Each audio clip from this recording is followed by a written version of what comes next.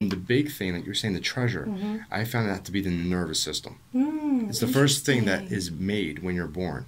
After after you, your lungs, your heart, your everything right. comes from a nervous system, a tube, the neural tube that actually happens. Then the skeletal structure protects it, and then the muscles and everything else kind of grow on top of that.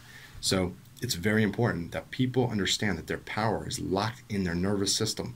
That's so and true. that's Well, I didn't know it was the nervous system. I just That's knew it what I was was a treasure. Well, exactly. What advice do you give them to establish that the beginning stages of that power? is I show them their power through muscle testing or a thought, and I show them where they're disempowered. Mm-hmm. Then I show them how they're empowered almost immediately. And then they say, What was that?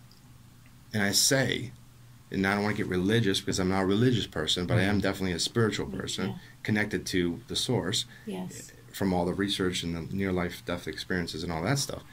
But what I want people to know is that they have God inside, and that has been erased. It's being erased by powers that don't want people to know.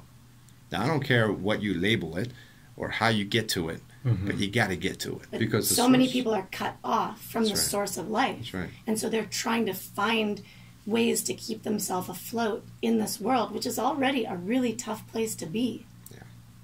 Right? And they- they do that on purpose, though. mm-hmm. You see, here's the kicker: if you can connect connect yourself to light, you get back everything.